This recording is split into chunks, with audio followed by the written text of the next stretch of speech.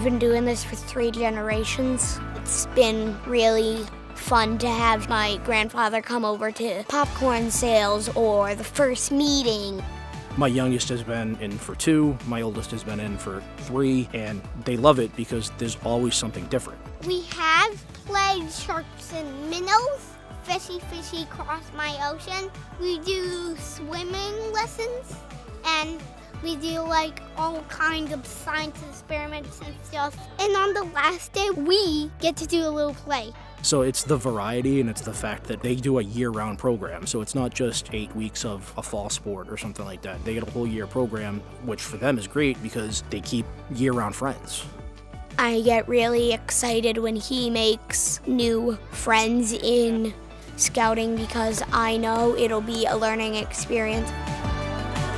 Whether the kids realize it or not, Scouts teaches life skills, you know, overcoming failure or first aid or what to do if you get lost in the woods. Through a fun activity, we're instilling these things that they carry with them forever.